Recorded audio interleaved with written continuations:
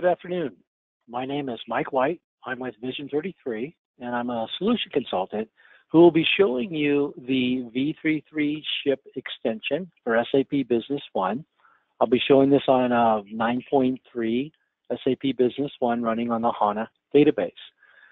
To uh, get things running, let's first take a one slide overview of what the V33 ship add-on can do for your business. The first thing is it has a real easy setup. One of the cool things about V33 Ship is it can be set up, up and running literally in just, just a few hours, and you're getting a return on investment on the product. So in the administration setup of V33 Ship, this is where you can define additional shipping and handling fees, and they could be on a per package basis, they could be on a, a total ship basis, or a, a value of what's being shipped. So you have some options there and adding handling fees per shipment or per package. This is also where you can enable real-time address validation. We'll take a look at that, as well, of course, as the user security, who, who can actually use this extension and who can't. Then V33 Ship also adds some features inside of the business partner. The ability to perform address validation from within the business partner, the ability to define carrier and customer account numbers for those carriers when the customer pays for shipping. Then in the quote order and delivery, there's a new tab added. And what this allows you to do is set up things like cash on delivery, provide for shipping insurance, establish the declared value, generate the shipping labels. And then optionally, you can import that shipping detail back into those documents. But you don't have to. You can later use batch billing and generate freight invoices to your customers. And we'll take a look at that as well. Uh, you then you can view the shipping details from these documents and uh, with a hot link back to the shipping provider. When you turn a delivery into an AR invoice, if you imported those shipping costs back into the delivery or the order or the quote and it carries through the delivery, then they'll be on the AR invoice. There's no need to run batch billing. But it's not uncommon to rate shop, calculate the freight, generate the labels, ship products, but not necessarily bring those shipping costs back into the documents. That's when you would use the batch billing process. And so it's, it's very comparable to the document generation wizard, and we'll also take a look at that. The V33 ship extension is ideal, and it works with UPS, FedEx, and the uh, USPS uh, services. So without further ado, let's go ahead and let's take a look at the uh, V33 ship extension. So to get things going, we mentioned that we can start at a quote, we can turn the quote into an order, we can generate a shipping estimate at the quote level, that'll carry forward to an order, to a delivery, and so forth. Uh, but what we'll do is we'll just go into a sales order, and in here we're going to select one of my customers here, Bed Bath & Beyond. We're now going to uh, choose a couple of items that I've got in stock here. So we'll go ahead and select those. And um, we'll go ahead and put in a delivery date of today. And um, you'll notice here on the V33 shipping tab, this is where I can say, nope, this is cash on delivery. Or I could tie my customer's shipping account number here so the customer picks up the charges. I could also insure this shipment and then declare the value for this shipment as well. So we'll go ahead and we'll add our sales order. Now that we've added our sales order, we no longer have to do double data entry. We see our sales order here is 498. So we're going to open up the, in this case here, we're going to use UPS World Ship for this demonstration. Again, we could be using FedEx or USPS equivalents. So we're going to start by simply going into the import area and we're going to bring data from B1 into UPS. The only thing we need to know is the order number, which was uh, 498. So we'll go ahead and do that. Once I bring that information in, I then select the type of shipment. This will be a standard. We'll say that the uh, the boxes or the box is a 12 by 12 by 3 inches high. It weighs 2 pounds. And now it's going to calculate my shipping. I need a couple of other pieces of information. Um, what type of, uh, what's the general description of the goods? And then I also need a valid phone number. If I try to add this right now, it's not going to work. So um, it's my mistake here for not having a valid phone number in my business partner. And so let's go ahead and let's um, process the shipment.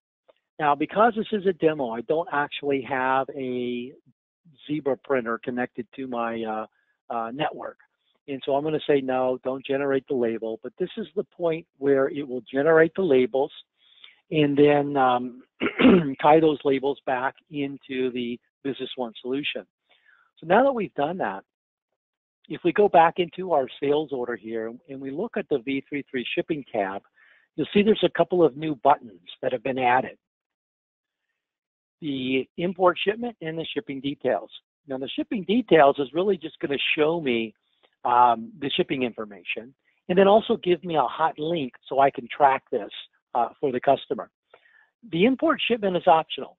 If I choose to import shipment, then that means when this uh, the sales order is shipped, turned into a delivery, all of those freight charges will carry forward. So let's, let's go ahead and do that.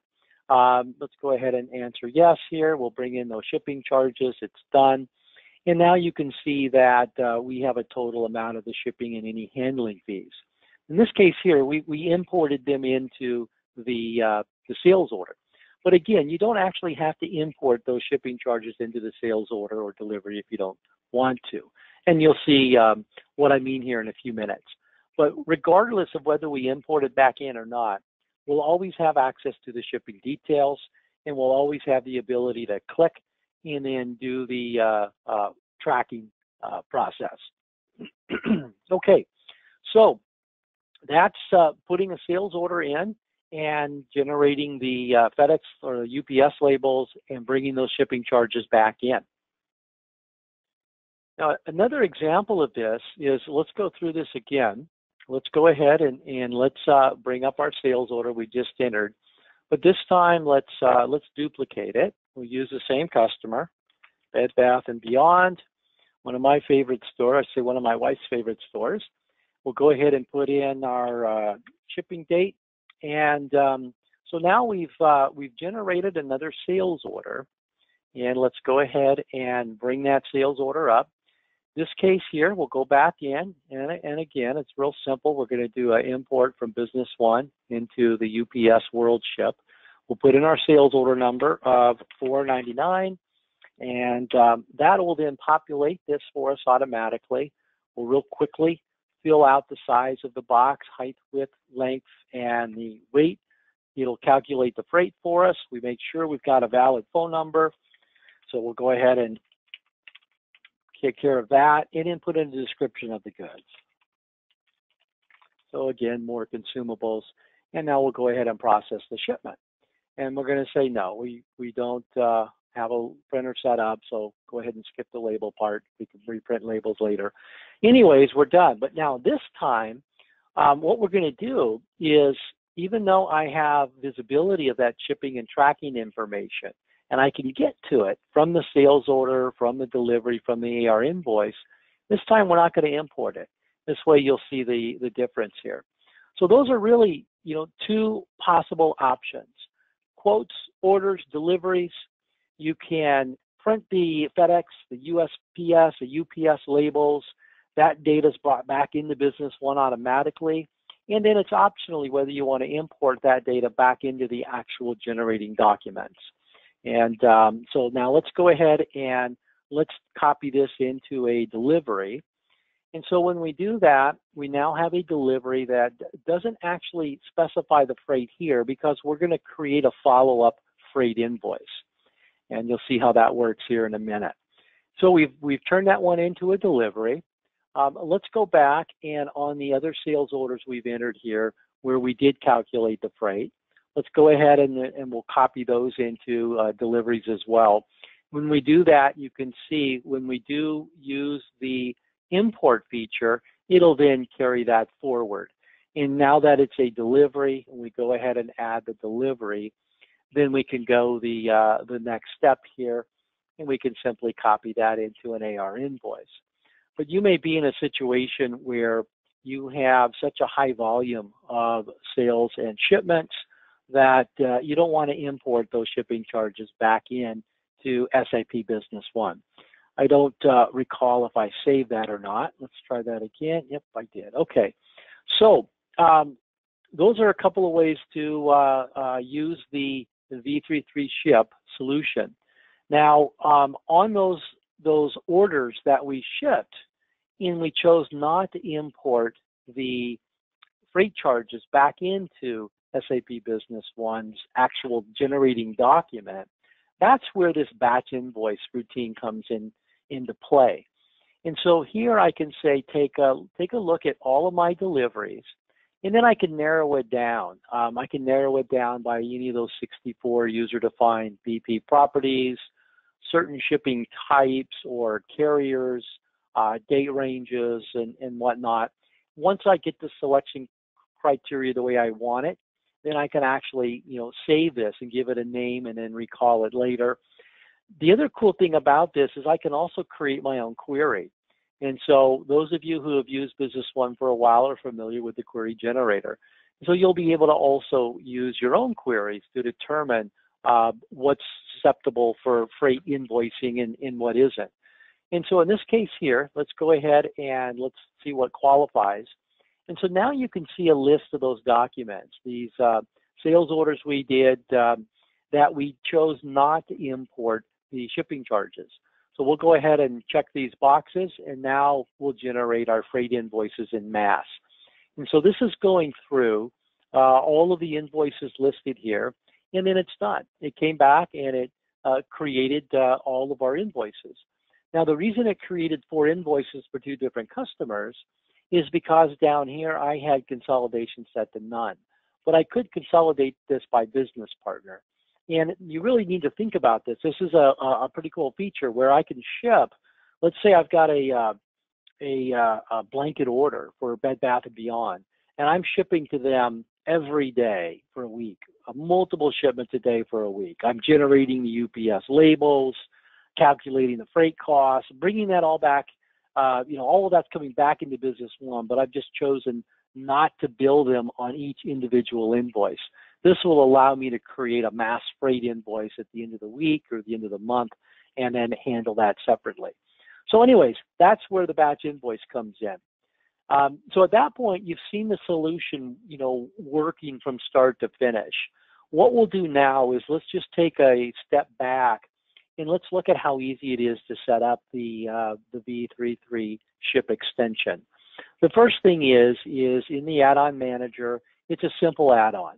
Um, you go through the add-on administration, you add it in, uh, and then you can set it up so it just starts automatically every time you start up Business One. Once it's been added, then you have the ability to real quickly configure the add-on. Again, very simple. Um, what we do here is we configure the different carriers, what carriers can be used with this. Um, this is where we can apply handling fees, uh, and they could be per order, per package. They could be a flat amount, um, or they could be a, a, percentage if we choose to do that, a percentage of shipping. We can apply the fees as additional, additional freight charge, freight insurance, however you want to handle it. And then um, this checkbox here will enable real-time address validation. So you can see there's not a whole lot to set this up. It's a, a pretty simple solution that'll eliminate double data entry. So that's all there is to really setting it up.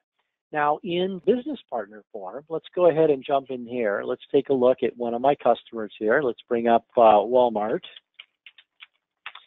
And we'll look at Walmart in the good old USA. Um, on the address tab, you'll see that there's um, option down here to, to validate that address. So here's an address. I can see that this address has not been validated. So if I click validate, it'll go out here and it'll then um, validate that address for me. Um, if I need to make any changes, I can. If there's an issue, it'll show up here.